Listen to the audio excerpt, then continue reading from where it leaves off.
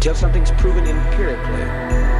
Epistemological concepts, uh, whatever your conceptual ideas, they have to make a juxtaposition with reality someplace so that you know by empirical evidence that what you have said was reality is tested to be reality and proven to be reality.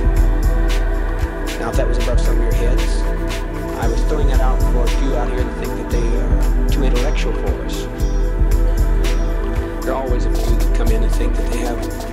great deal of wisdom that they can somehow give we poor, struggling people here, polarized as we are in the lower end of the socioeconomic income picture. And they think that uh, they can reach down into our drab existence and lift us up.